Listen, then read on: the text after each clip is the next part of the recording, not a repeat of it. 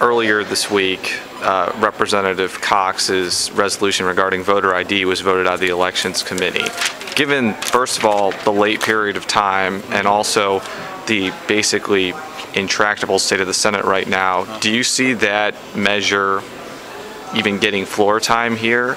And, and is it worth debating? I will, you know, let, let Steve talk, but I would say it's pretty late for Pretty- House bills, and I'll let Steve and Stan, you want to? Yeah, I mean, you know, I, we, the House over the past few years has been a long-standing supporter of photo ID and protecting the voting process. If you remember last year, last year, Jason, we sent them a bill fairly late last year.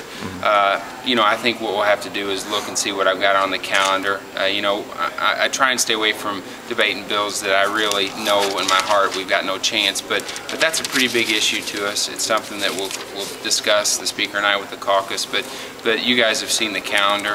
Every day, a few more bills get on there. There's probably bills on there now that I'll never be able to get to, and, uh, but we'll take a look at it. But it's something in the past that our caucus has felt very, very strongly about.